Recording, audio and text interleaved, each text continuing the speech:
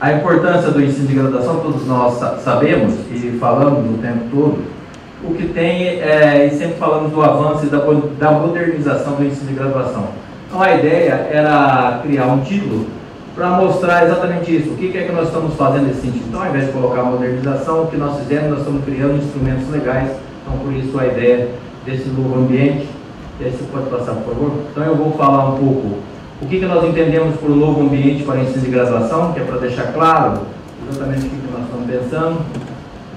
Sobre a questão da valorização do ensino de graduação, que realmente é preciso é, falar sobre isso um pouco do ingresso na Universidade de São Paulo e inclusão social, e aí eu fecho com considerações gerais. Então, é o que nós entendemos por um ambiente de ensino de graduação. Pode passar.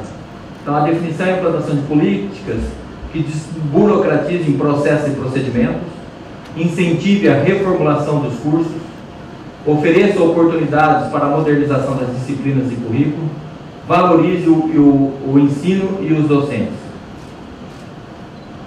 e incluam jovens talentos das escolas públicas. Então, essencialmente, nós estamos falando, eu deixei marcado desses, desses verbos, que são os verbos essenciais para o qual nós estamos falando sobre o que a gente está tratando do que, é esse novo ambiente.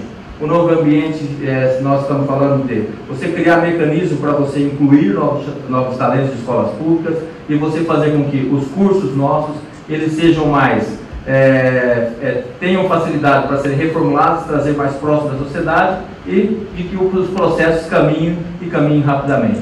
Então, qual é a situação atual? Então, é, começamos aí.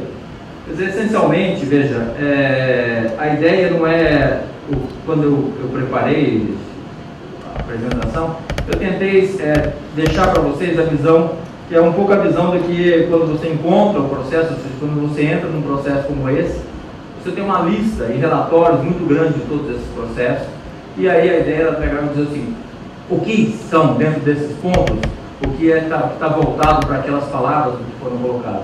Então, a nossa situação hoje, atual, e aí ela vale para a Universidade de São Paulo, mas vale para a maioria das nossas universidades né, do país como um todo, elas têm, a maioria das disciplinas, elas são ministradas de maneira direta. De maneira direta, você tem um emissor e um receptor e não tem outra interação. O tempo elevado de aulas teóricas, expositivas, é isso que eu estou fazendo aqui. Então, esse processo é um processo que é, tem uma série de outras coisas relacionadas à disciplina e às aulas, mas esses dois são dois pontos é, chaves para isso. Quer dizer, você ter as disciplinas ainda em que a inserção dos alunos, da participação dos alunos no processo da construção do conhecimento, tá ela não aparece, ela aparece ainda no mesmo modelo que o anterior.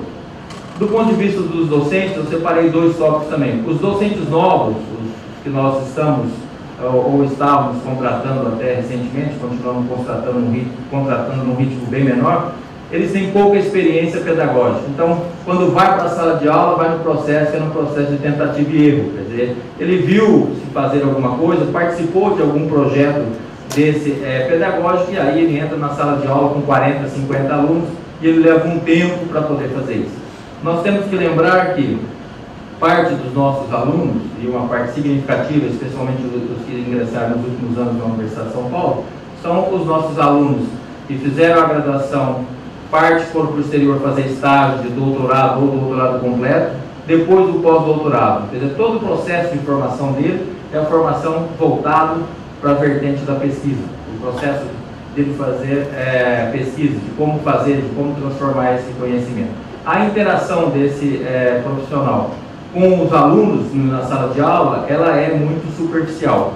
Alguns desses que recebem financiamento do governo federal é, então tinham a obrigação de participar de um projeto, que é um projeto de, é, de aperfeiçoamento de, de didático, de estágio, e nós agora, é, eu vou falar um pouco depois, estamos trabalhando na Proreitoria para também fortalecer isso, de maneira que você envolva a maior quantidade possível dessas pessoas. São ótimos pesquisadores, mas na hora de falar com os alunos tem uma série de dificuldades. É o que está abaixo são os professores ainda, hoje nós temos os novos que não deveriam, mas especialmente nós que já estamos, estamos de uma outra fase, você tem os professores que são chamados é, analógicos e estudantes digitais, que é o tal do conflito de gerações. Quer dizer, você tem naturalmente exceções em todos os lugares, mas essencialmente como você tem o professor analógico, ele está acostumado a fazer como ele aprendeu e ele fica como emissor falando e que a pessoa fica recebendo isso. Isso acontece em todas? Não, acontece na maioria das disciplinas, e alguns cursos, nós estamos num processo de reformulação, boa parte desses cursos tem trabalhado em cima disso. Do ponto de vista institucional, você tem dois pontos que são é, críticos nesse processo. As salas de aula, elas foram preparadas para o mecanismo que é o mecanismo emissor-receptor. Certo? Então a sala de aula tem uma configuração e uma infraestrutura que elas são inadequadas.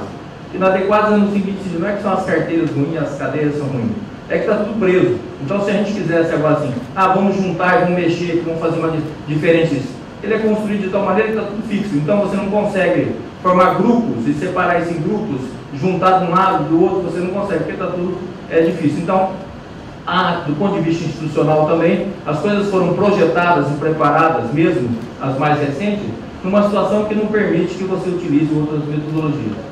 E um ponto crítico do ponto de vista do docente para o ensino de graduação, essencialmente, é a questão do que é chamado de valorização docente. Se vocês procurarem, vocês vão encontrar falando, falando sobre a necessidade de valorização docente, provavelmente lá desde quando surgiram as pró-reitorias, há 26, 27 anos, se fala sobre isso. A dificuldade é que sempre entre, entre a fala de você falar de fazer a valorização docente e fazer de fato isso acontecer, isso sempre foi um hiato muito grande. Então, é uma, tem que se superar esse processo, porque senão você não consegue fazer o processo que nós estamos falando, que é valorizar o ensino. É preciso? É preciso. Olha a situação que nós temos. Três consequências disso tudo. Três consequências. As disciplinas ministradas são como na década de 70 e 80. As mesmas que eu fiz, os, as mesmas que eu ministrei aula, as mesmas que os alunos estão fazendo. Tira uma coisa ou outra, mas a essência do processo, que é o processo de emissor e receptor, permanece. Os cursos de graduação são desconectados da atualidade e distantes da sociedade. Quer dizer, o aluno entra no curso imaginando uma série de coisas por conta da quantidade de informação que ele tem disponível, independente da qualidade da informação, e aí ele entra e chega lá e encontra um curso que é o mesmo, que é que eu costumo dizer quando eu falo sobre isso, mesmo que eu fiz. Então ele vai entrar, vai fazer o curso bacharelado em física, que é o, o que eu fiz, ele vai ter lá cálculo 1, ele vai ter física 1, química geral, os mesmos, a mesma sequência, o mesmo emissor, o receptor, ou seja, é uma coisa que para quem está é, no ano de 2015 isso tem que é, mudar. E o outro é a, a questão da valorização. Fala é preciso, é preciso, é preciso, mas não acontece. Você permanece no IAP. A instituição ela não valoriza o ensino de graduação. Valorizar o ensino de graduação tem várias maneiras de você fazer isso. Certo? Não é simplesmente você é, pagar salário disso ou daquilo. A questão é você fazer, colocar o ensino de graduação no centro da, da discussão, trazer para o centro. Então, assim que eu cheguei na Pró-Reitoria de Graduação, a primeira coisa que eu disse aos colegas que estavam lá, para poder dizer exatamente o que eu queria dizer, falar com isso, né, expressar o que era o que eu entendi como a valorização do ensino. Pessoal, imagina uma mesa, nós estamos sempre, uma mesa dessas redondas, de reuniões, nós estamos sempre falando que precisa valorizar, mas o ensino de graduação está sempre na borda. A nossa tarefa é muito simples, tem que fazer que está na borda vir para o centro. E se fizermos isso, se trouxer no centro tiver o brilho, que é o brilho do que está no centro, seguramente é, não vão precisar falar mais sobre valorizar o ensino de graduação. Então, tem muita coisa que você precisa fazer para esse tipo. As ações e os desafios. Aí tem algumas das ações e algumas delas são desafios que nós estamos enfrentando. O primeiro deles, veja, se você está com cursos, se os seus cursos são cursos da década de 70 e 80, com a disponibilidade que você tem hoje de ferramentas para fazer inserção de conteúdo digital, isso deveria ser tão simples e tão fácil quanto usar o Facebook ou, ou o WhatsApp que todo mundo acaba utilizando. Quer dizer, deveria ser possível você ter usado essas ferramentas. Então, o que a gente está procurando fazer é oferecer ferramentas para aumentar a inserção do conteúdo digital nas disciplinas, naquelas em que o docente, que é sempre o responsável pela disciplina, entenda que é possível você colocar e que a gente está é, trabalhando. A outra é criar condições para o treinamento docente dos pós-doutorandos.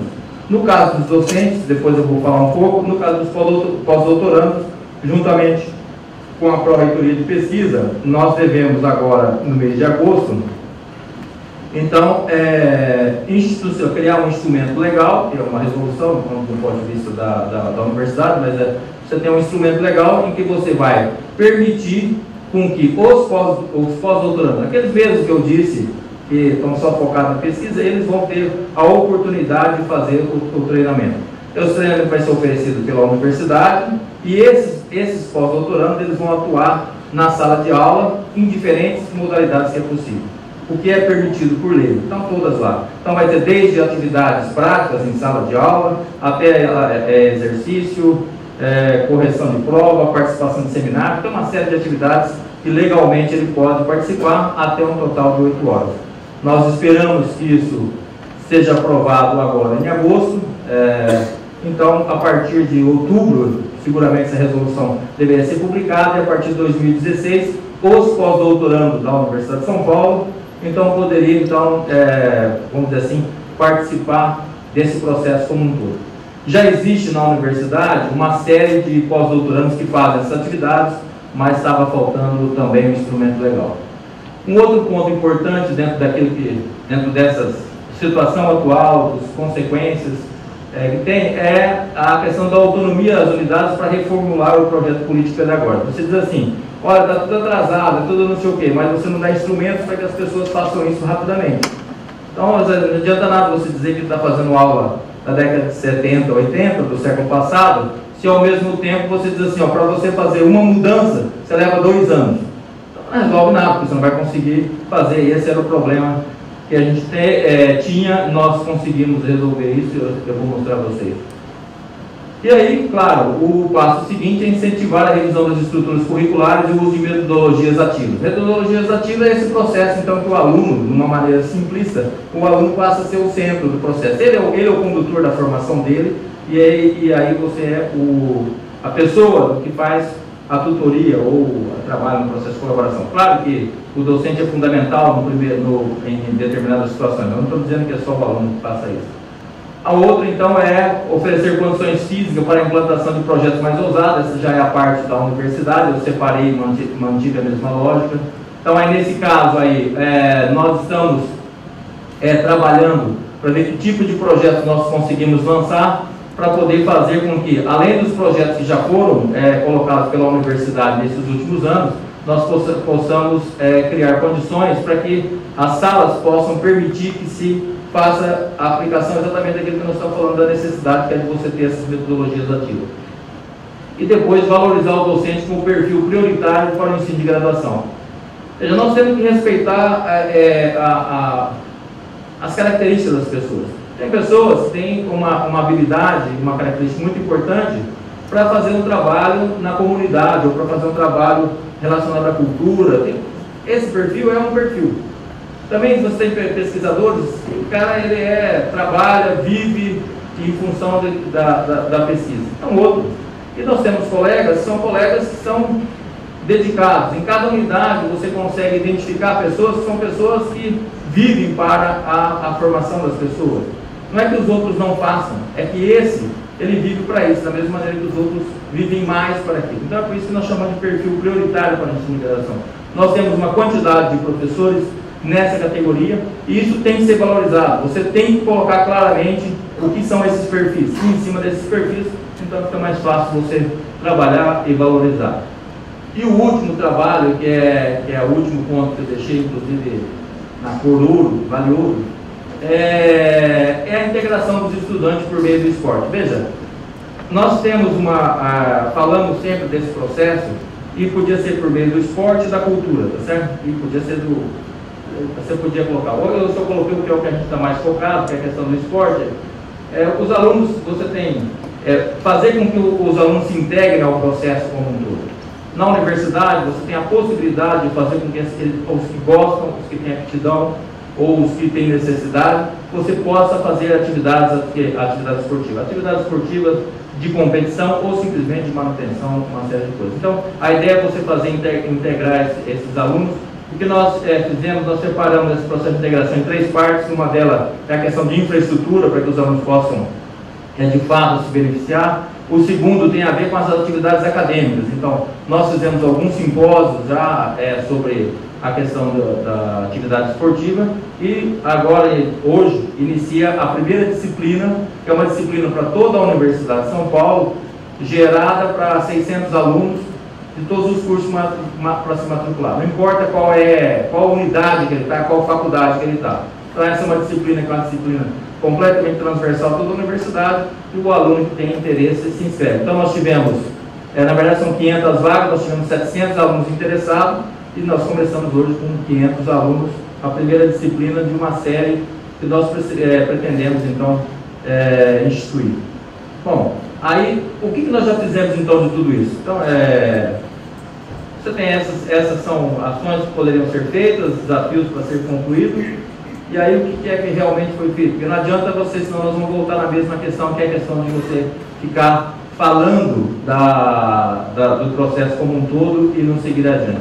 Em 8 de dezembro de 2014, foi então fazer aquilo que nós julgamos que era o ponto é, fundamental desse processo para você iniciar o processo de modernização do ensino. Era então dar, dar autonomia completa às unidades, às faculdades, aí entendo a unidade de ensino pesquisa são as faculdades, para reformular o projeto político pedagógico, seus currículos, as disciplinas. De maneira que agora a alteração do processo ela acontece na unidade e permanece na unidade. Tá? Informatização de todos esses processos e procedimentos sem interferência da Pró-Reitoria. O que, que isso, qual é o impacto disso que tinha? O impacto é o seguinte, a diminuição do tempo de, implantação das, reformulação, das reformulações curriculares. De 12 a 18 meses que levava para 3 meses. Eu coloquei exemplo do novo currículo do curso de medicina da que está aqui, o Paulo, o Paulo. É, na verdade, eles terminaram, né, eu estive na, na congregação da Faculdade de Medicina na metade do ano de 2014 e, e disse, ó, se a gente trabalhar bem, a gente aprova todo esse ano e no começo do ano que vem vocês têm um novo currículo assim pensado depois de 4, 5 anos. Veja, a reformulação curricular não é uma coisa que você faz assim a toda hora. Então é uma, é uma decisão em que as unidades, as faculdades, têm que fazer uma reflexão sobre. No caso específico da Faculdade de Medicina, se eu não estou enganado, foram quatro ou cinco anos pensando nesse processo como um todo para você fazer com que os alunos tivessem uma visão mais abrangente do processo de como é ser o médico. Depois, aí o Saldino vai falar sobre outro assunto, mas se quiser falar, ele está vivenciando isso, dando aula para dois, dois blocos de alunos diferentes. É, então, Veja, isso foi possível porque, aprovado em dezembro, as aulas começam em março. Foi aprovado em dezembro e foi implantado em março, três meses depois. Um processo, um currículo como esse, depois de quatro anos discutindo numa faculdade, ele gastava depois, andando pela universidade, pelo menos um ano. Pelo menos um ano. Uma reformulação curricular como essa, que foi feita na Faculdade de Medicina, era dois anos no mínimo. Então você não consegue fazer com que o processo como um todo ele acabe sendo modernizado. Tá certo? Então, dessa maneira, ah, com a autonomia completa das unidades, permitiu então que os projetos, e aí as unidades agora, as faculdades têm que correr atrás disso, reformular seu projeto político pedagógico. Isso faz com que você consiga implementar de fato é, outros tipos de metodologias.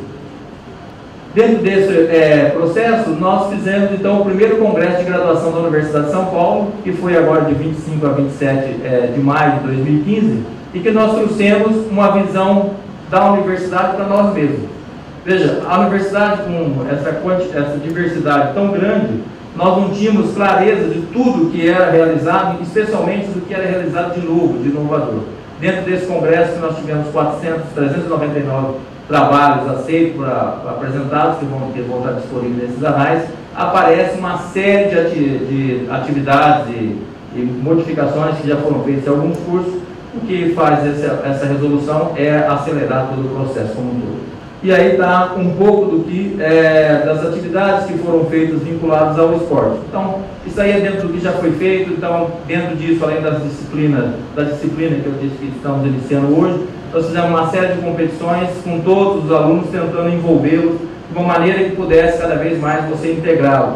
E aí essa integração fazer com que isso volte para a unidade, para que você possa discutir seu currículo, possa discutir com o seu, o seu professor, ou seja, no sentido de que você vai formar um cidadão é, mais completo. O que, que, nós, o que, que está em andamento dentro disso? Como eu foquei três pontos, eu vou trabalhar nesses três pontos. Primeiro, o programa de valorização docente na graduação. Quer dizer, o que, é, para você fazer esse processo, é, segundo a nossa é, interpretação, é, você precisa ter os indicadores. Todos, com todos com quem eu conversei nesse um ano e seis meses, que estou à frente da Pró-Reitoria de Graduação, a conversa sempre era a mesma. Ah, é difícil, é difícil, não sei o quê, e a, a conclusão sempre é que não tem indicadores, não tem indicadores. A universidade já tinha se debruçado sobre o tema e criado alguns indicadores, e isso não foi colocado. Porque sempre se, se, o que se faz é você criar os indicadores, mandava aquelas planilhas enormes para cada local, as pessoas tinham que preencher aquela planilha enorme, voltava aquela planilha enorme, e no final das contas ninguém via nada, porque era tanto dado que não, não acontecia. O que a gente está é, trabalhando é criar o, o, o, índice que nós estamos chamando, é, um, tomando como referência a pesquisa, é, que é o índice que existe para pesquisa, então é um índice que a gente chamou de EGRAD, que é o índice de graduação, e aí o tal do engajamento institucional docente, isso aí sairia da base de dados de todos os sistemas que a universidade tem. A universidade tem uma base de dados muito grande, que dá para pegar tudo que a gente entende que, é, que envolve o engajamento institucional, de modo que o docente ele não teria que fazer, não preencher nada. Afinal das contas, nós vamos dar para ele qual é o índice dele e, ele, e as informações. Ele que vai nos dizer se a base de dados está certa ou está Se não falar nada, é porque está certo e aí seguimos com isso. Dentro disso, nós estamos, é, assim que a gente fechar, está quase pronto, é, definir o programa de benefícios e apoio ao aperfeiçoamento didático. E aí nós estamos, é, então, é, a primeira vez que estou dizendo isso em público, criar o prêmio que é chamado os professores notáveis da graduação. Esse é um resultado do congresso de graduação. Essencialmente eu perguntei para vários professores, professores já, alguns aposentados, já há muito tempo é, atuando na Universidade de São Paulo, eu disse assim, fala-se muito sobre valorização. O que, é que seria? Então, o que, que, eu, poderia fazer para realmente você se sentir? Alguns deles são pessoas que passaram a vida se é, dedicada a isso. O que, que é que precisa fazer? É dinheiro? É placa? O que, que é? É você nada? É muito mais simples que isso. É só você pegar e criar um prêmio que vai pôr o meu nome lá na página para que todo mundo saiba que eu fui um bom professor nessa universidade. Eu só preciso disso, eu não preciso de mais nada. Eu não quero dinheiro, não quero nada. Eu quero, eu quero que seja reconhecido pelo meu trabalho. É isso, isso é reconhecido pelo trabalho. Então a sugestão que temos inicialmente é essa. Então esses, esses professores receberiam então essa homenagem, além da divulgação. Então esse é o dentro do programa de valorização. É claro que isso vai ainda, uma vez é, finalizado algum desses passos, isso volta para as faculdades, para sugestões e assim segue a outra é dentro ainda dos docentes, que é a criação do centro de aperfeiçoamento docente. Está dentro daquela questão dos treinamentos. Então, treinamento docente dos é, pós-doutorandos, uso de ferramentas digitais. Nós estamos criando, é, são três centros de aperfeiçoamento, já, a infraestrutura já tem toda pronta. Nós só estamos pegando, é, mudando o foco do projeto político. Tem São Paulo, Ribeirão Preto e São Carlos. Quarta-feira agora é a primeira reunião em Ribeirão Preto e no mês de agosto começa então a abertura para o primeiro treinamento na, lá no campus de Ribeirão Preto, isso sempre é transmitido é, a todos. O programa de desenvolvimento docente para intensificar as metodologias ativas vai estar dentro desse treinamento e a mesma coisa, é, outras é, é, ferramentas que são utilizadas, que as pessoas têm utilizado, mas sempre dentro dessa ideia de você ter metodologias ativas. Um programa que está é, é, sendo gestado e aí avaliado na universidade pela Procuradoria Jurídica, o que acontece é que nós temos é, oito é, campi da, da USP. Dentro desses oito campos, o que acontece é que o docente aqui de São Paulo, é, grande maioria, é, não tiveram, por exemplo, é, lá no campus de Ribeirão Preto. Ou não tiveram no campus de Lorena, ou no de Santos é muito novo. Mas no São Carlos, alguns sim, outros não. Então, a ideia desse programa é que você tivesse docentes que, pelo menos por dois dias, ele pudesse atuar junto com o, aos alunos de graduação lá no, no, na, na, na, outra é, cidade. Naturalmente, isso é um programa, como programa, então você recebe inscrições, dentro disso você vê quem vai participar ou não. Então, vou pegar o exemplo que a gente já falou da Faculdade de Medicina, nós temos Faculdade de Medicina em São Paulo, Faculdade de Medicina em Ribeirão Preto. Então você tem um docente, sei lá, de histologia, docente de histologia daqui vai dar aula de histologia lá em Ribeirão Preto, de Ribeirão Preto pode ser o outro, de infectologia, que vai dar aula aqui. A ideia é que a, a, os nossos docentes conheçam mais de perto qual é o perfil de todos os nossos alunos e o que é que nós temos nesses campos, de maneira que você possa avançar no processo de ensino de uma maneira mais geral, todos possam contribuir. E um outro que é uma demanda muito antiga também, exatamente como da valorização, é o programa de acompanhamento de egressos que, tá, que vai ser descentralizado e já está para ser lançado até o final do ano. essa revista, esse título graduação, não, volta um pouquinho. Esse título graduação é o título da revista, que é uma revista é, online. É, ele é o resultado também do Congresso de Graduação. Veja que o Congresso de Graduação foi bastante positivo, nós tivemos várias sugestões. Uma das sugestões, é, então, foi criar um, um, uma revista online específica para a graduação. Essa revista, essa aí é uma primeira capa, tem uma série de coisas que não são, mas essencialmente isso aí é uma sala de aula no Instituto de Física aqui de, da, da USP de São Paulo. Então você tem essas, esse é um dos trabalhos em que você tem centrado nos alunos, você tem os alunos com diferentes é, ferramentas discutindo os assuntos e na sala você tem lousa para todos os lados, o docente com monitor discutindo. Então esse processo é um processo que é, é bastante interessante e é o que a gente está tentando trazer para os cursos que estiver interessado. Mais do que isso, a revista então ela vai pegar e dizer como é que foi feito. O foco da revista não é fazer um trabalho de pesquisa, é competir com revistas é, é para você fazer o compartilhamento de é, experiências. Então você vai ter, você fez a experiência, a experiência andou bem, isso andou assim, andou assim, você vai lá, coloca lá para o seu colega. Ah, tem um experimento muito legal que alguém fez, está lá. Então você pega isso para todas as áreas. Então, é, essa revista, quem deve ser o editor-chefe é o professor Baiardo, que é um professor de aposentado do Instituto de Química, trabalha com bioquímica e foi um conferencista convidado dessa é, coisa. E é um dos professores que sugeriu a questão do que, que foi que me explicar o que era a valorização docente. Agora falar um pouquinho sobre a questão, o outro passo importante dentro desse processo de, de criar esse ambiente tem a ver com o processo de inclusão social e ingresso à Universidade de São Paulo. É, como vocês sabem, a Universidade de São Paulo sempre, até é, o, último vestibular, que foi esse agora 2015, o processo sempre foi em, através de exame, o exame é o da FUVEST. Então o processo sempre é da FUVEST. Em 2006, a universidade criou é, um programa, que é um programa de inclusão social, chamado INCLUSP, um, é, Inclusão Social na USP, e aí você tem aí as categorias dentro desse cartaz, que é o que vai estar no manual da FUVEST, agora que vai ser lançado essa semana, mas é, então você tem uma bonificação na, nas provas, nos exames que os candidatos fazem. O que nós fizemos já em 2014 foi fazer esse bônus que aparece do lado da 12% para alguém que fez só o ensino médio em escola pública. Isso é só escola pública, certo? É só para os alunos de escola pública. É, a nossa cota é cota de escola pública. Então, a, a bonificação, é para quem fez o ensino básico, que significa o ensino fundamental e ensino médio, é 15%, e aí participou do programa seriado é 20%, se é autodeclarado PPI, ele tem um adicional de 5% a depender daquelas categorias acima. Então você soma mais 5%. O programa, ele, ele você tem de 2010 a 2015. O que nós fizemos foi fazer uma avaliação é, da seguinte maneira. Em 2013, assim, no vestibular então, de 2014, assim que entramos, em fevereiro de 2014, é, foi olhar para os dados de inclusão, os dados de inclusão é, são, é aquela linha, é, é, a roxinha ou a vermelha, porque as duas são muito próximas, não faz muita diferença. É uma daquelas áreas da própria universidade, depois eu vou explicar as outras. É, você tinha a bonificação era, era em função da quantidade de acertos que o candidato fazia. Então, se o candidato acertava tanto, ele tinha um tanto de bonificação.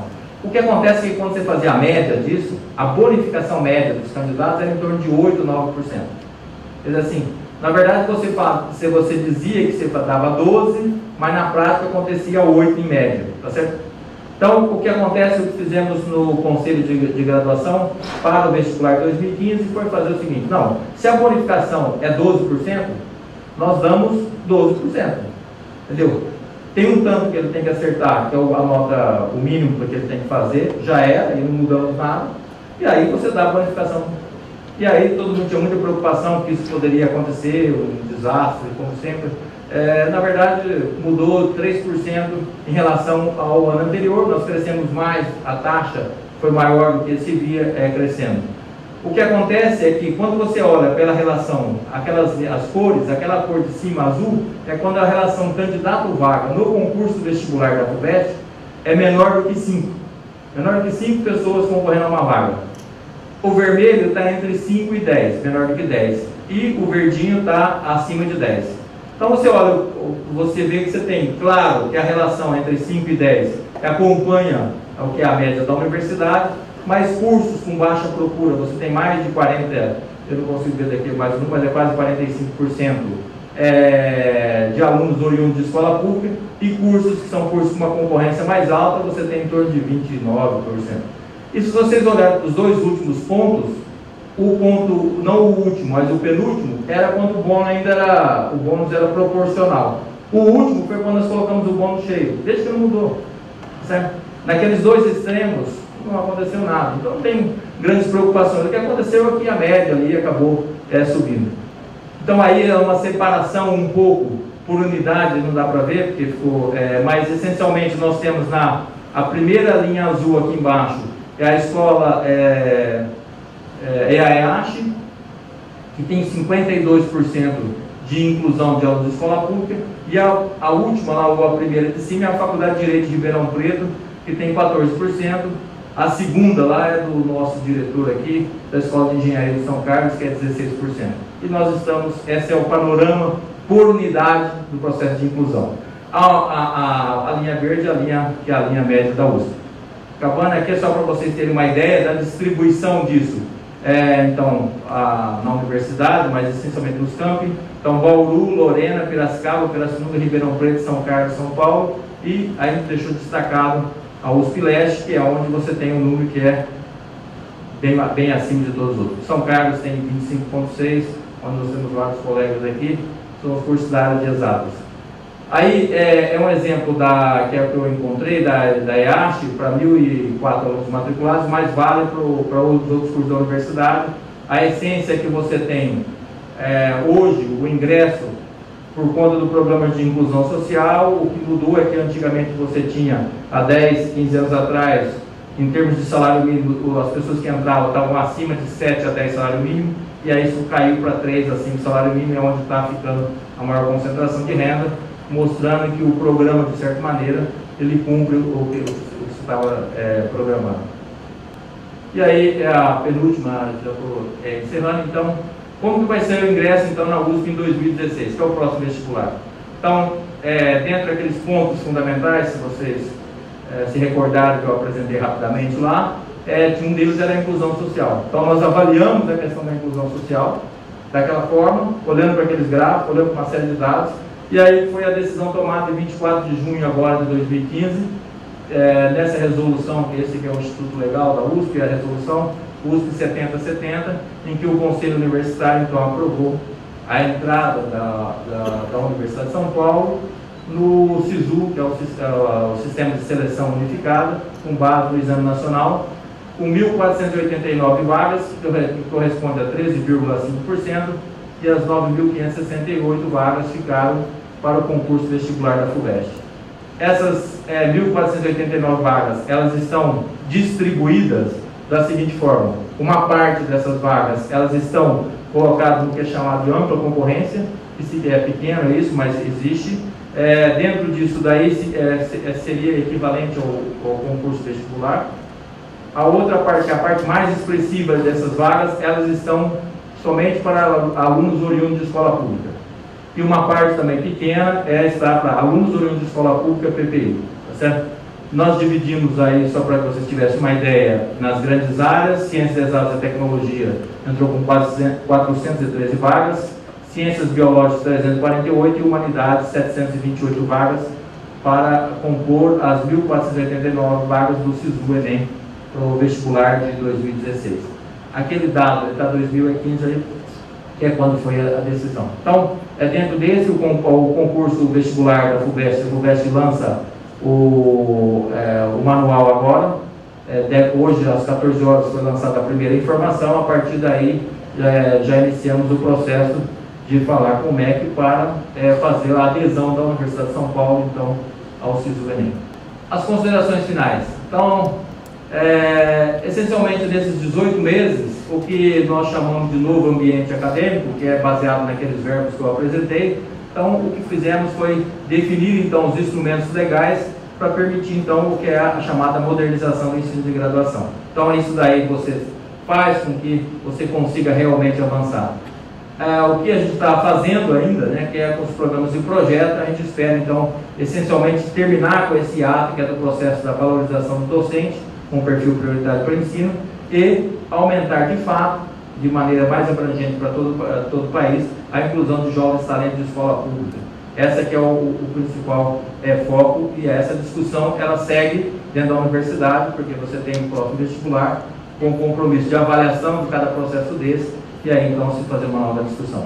Então, essencialmente é, era isso que, é o, que eu queria mostrar a vocês, dentro do que nós caminhamos nesse sentido, eu acho que. Muito obrigado.